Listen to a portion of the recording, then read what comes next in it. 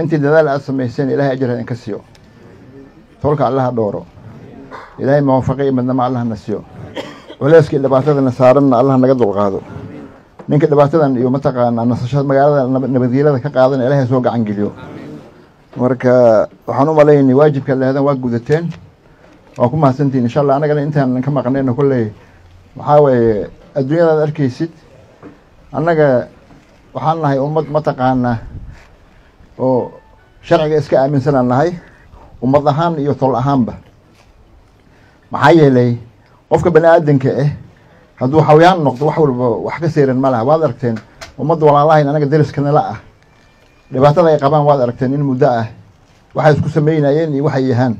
Annaga alxamdulilah ilaah baa mahadleh bani aadan baa layahay wax waa dhadhacaan. Laakiin dhibka hadda maanta oo kalena qabsaday horaanna waa noo soo maray.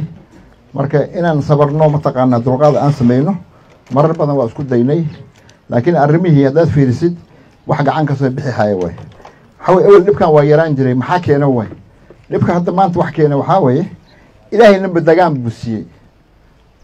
Maanta haddaad suufka haddaad tagta maanta waxaa la socdaa gedigaas haddaad tagtid waxaa lagu dhihi nin baa magaalada soo galay hala soo qabto. Adoo meel fadhido qof qaraabasha hal cabaa lagu leeyahay. Sharciga magaalada aad ku soo gashay iyo aqoonsigaada keenaa lagu dhihi waa meel dad leeyahay oo dhul dad leeyahay la aqoonsan yahay la yaqaano oo dowladda leheedna ay ka warqabto way. Badaxaaw haddaad tegtid waa sidii oo kale. Markaad gelaysid ba adoo dhanacyaha fiirinaysaa tegeysaa macnaha sharci darraba ha jirto dowlad la'aanba ha jirto laakiin inta meesha joogta cidda meesha joogta iyadaa iska leh maamulkeeda iyadaa leh.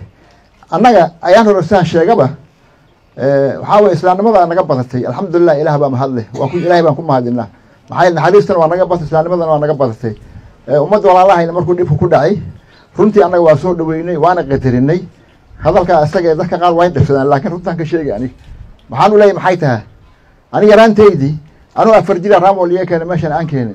Dowladda kenyana masruufa jirta meeshan. Dowladdaan arki jirnay nidaama jiray kijiijaan ku jirnay dhib badan baan soo marnay. Dhulkan aad arkaysid annaga markii n f d dagaalka u dhacay oo soomaalida kala carartay reer iyo reer ay muqdisho isku shubeen ummadda keliya oo dhulkan ku hartay kenya oo mataqaana dowladda kenya iyo dowladda ingiriiska daacad u ahaa reer garay ahayn ciddan gara oo dhulkan deganay ahayn annaga dadkiina dhalay waalidiintayni dhulku waa noo qabteen dowladda kenyana waa u qabteen dhulkan waana noogu imaaday.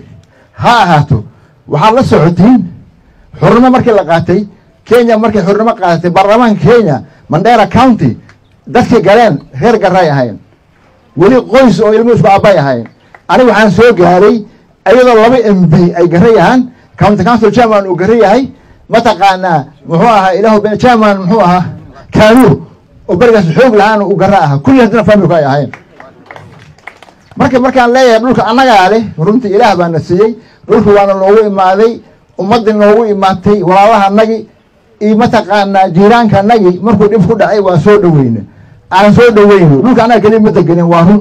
Qabaa'ilo badanaa nala degan korontiraba nala degan murulaa nala degan reer dawada nala degan dhulkan waxaan ku soo marna waa naqaana laakiin intaasoo idil kulli markay joogeen reerka keliya oo lagala xisaabtamaya dowladda kenya iyo dowladda ingiriiska reer kale ay ahaayeen ummaddan ay ahayd.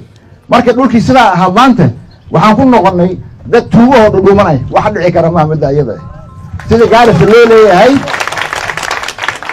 sidii gaarisa loo leeyahay iyo mandera loo leeyahay. Sidii wajeer loo leeyahay iyo mandera loo leeyahay marka waxaan rabaa inaan idiin sheego annaga dulmi iyo gacan qaad iyo fulaynimo kuma dhimanayno. Annagoo arkayno keyrkaa inaan iska reebaynaa runtii aan idiin sheega aniga. Gacan qaad ma samaynayno. Waxaan wakiil u soo marnay khalash u bixina waxaa weeye in mataqaana sharcigaan u hoggaansanaan rabaa. Midda keliyaan u sheegi dowladda kenyaan u sheegi dowladda kenya dhulkan annaga dowladda ingiriiska ayaa naga qaaday referendum baa la samey referendum marka la sameeyey eighty percent reer n f d waxay dhaheen anaga soomaaliyaan rabnaa. Dadka keliya mandheera ay ahaayeen referendumka asaga ahaa dowladda ingiriiska xoog ku marisay waxaana lagu daray kenyada kaleana lagu daray. Annagaana yeelnay reer mandheerana sabab ah odayaasha sabab ah allahu naxariistay dadka ayaga waa dhamaadeen maanta ma noolo. Hadday sidaa taha annaga dowladda kenya nabadgelyadan iyadaa qaaday ammaankaan iyadaa qaaday sharci waan u hoggaansanay hoosteedana lagu dhamaynhaya waxaan aqbali karna ma aha. Dowladda kenyaan u sheegahaya si fiican ha maqasho waxaan aqbali karna ma aha. Waxaan ogolaan karnana maaha intaan ka badan uma dulqaadan karna annaga. Maxaa yeelay qofka bani aadanka ah wuxuu sharci hal sharci un baan qaba. Aniga maanta u dhashay maanta fulinimo waxaan ka qaba kibaandadii markaa masuul galay waa qaatay anig maxaa keenay? Qof meel kale joogo waddan kale ku nool inuu inta kugu shaqaysto intana kugula noolaado markuu waxalayn meel kale u carar u qaba. Waxa dhici kara maa midda iyada anaga meelaan u dhaqaaqan ma naqaano. Meelaan u socno ma naqaano. Nyaanyur ahaan meeshaan ku wadeegan hayna guriga inaan looga imaado lagu dhamayn haya hadda ma aha mar ma aha laba ma aha saddex ma aha nimanka qaraabada an anoo madaxooda sheegayna reer hebel aan dheheen waxaan idin leeyahay tolow arrintan dhacday waxaan aqbali karna maaha mana u qaadan karno. Gacan qaadna ma samaynayno laakiin sharciga waddanka wixii ka jiro yaan u hogaansamaynaa sida aan idiin sheegayba annaga arrinta meeshu bay taagan tahay dhiigna ma rabno waxaan u baahannahay ma jirto. Sharciga dowladda kenya iyo dadka dhinacaas jiraan wixii aan ku heshinay ballantii meeshii hala fuliyo.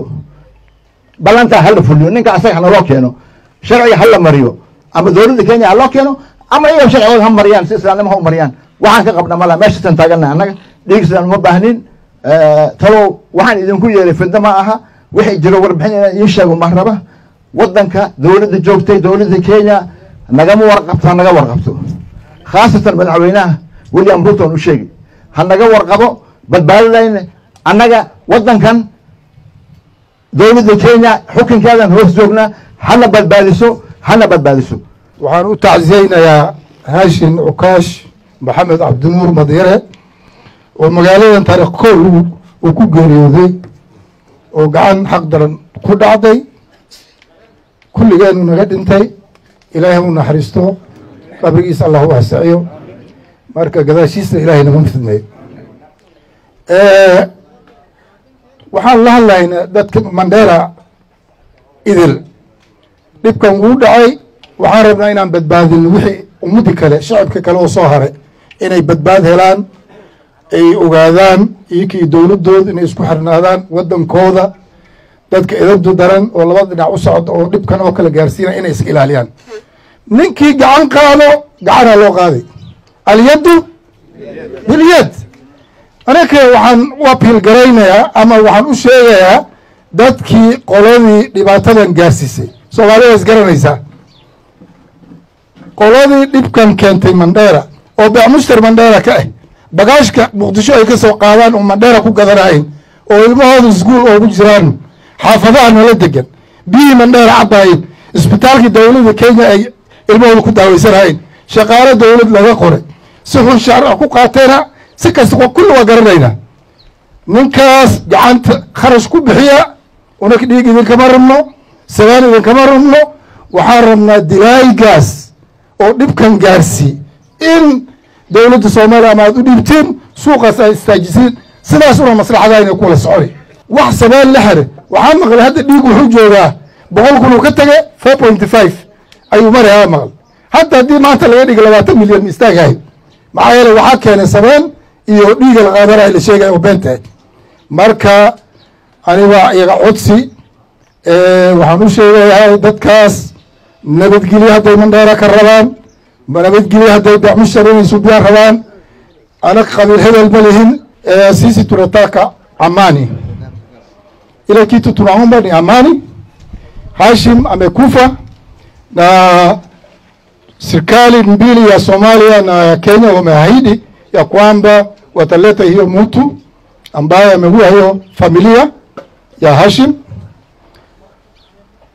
Wakilete hatuna maneno, kesi inaendelea. Tuko na mtu mmoja hapa katika sel anaenda Gariza, tunangoja, lakini wale wanajiita sasa hawa ni Wakenya na wazee wa, wa, wa Mandera. Mimi najua wazee wa Mandera iko kabila hilo ile Angereza amewacha. Tunajua wale watu tunaishi ni hao. Kama unajifikiri wewe ni mtu ya Mandera na wewe si mtu ya Mandera, wewe iko na kofia mbili ama iko na kofia tatu, hiyo maneno inaisha. E, katika miezi mbili tatu, nafikiri kifo sio ya Hashim peke yake, tulikuwa na kifo karibu saba katika kaunti hii. Kwa hivyo katika hii familia peke yake, katika kifo saba hata baada ya Hashim kuna kijana amekufa Malkamari, amekufa na umeliwa na binadamu na mkono ya binadamu. Kwa hivyo sisi kama wananchi ama community hii tumevumilia kukaa kuongojea update ya serikali, chunguzi vile yanafikia vile inaendelea. Bado tunaamini serikali, tunangojea uchunguzi tumewacha ile maneno tabia ya mkono mkono, tumewacha tumesema wananchi wapoe, wakae, wangojee haki kutoka serikali. Kwa hivyo sisi kama wananchi wa Mandera ama community hii tunapenda amani, sababu watu saba mwezi mbili tatu uliua hivyo, na tunakaa tu tunavumilia, unaonyesha kwamba sisi tunataka amani, bado tunataka amani. Naomba wananchi wetu eh, watulie, kwa sababu tunataka amani, sababu nchi ni yetu. Ile mwamba unatupa unaongea kwa, unaongeuka kwa sisi.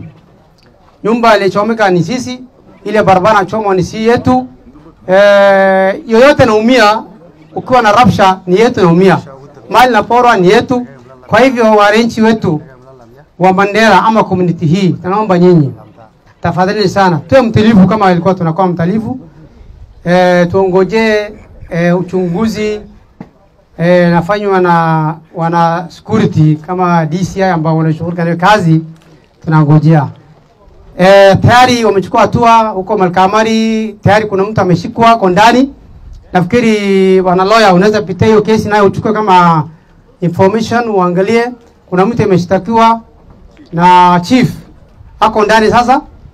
E, uchunguzi unaendelea, ulikuwa wanne, bado uchunguzi unaendelea. Nafikiri uchunguzi akiwa kamiliki kwa kamili, nafikiri itapeleka kotini na atakuja Garissa. Kwa hivyo hiyo naye tunataka nyinyi mwakilie sisi kama community hii, katika sababu wale waliwawa wote ni community hii na ni ndugu moja kama ndugu yetu Kash.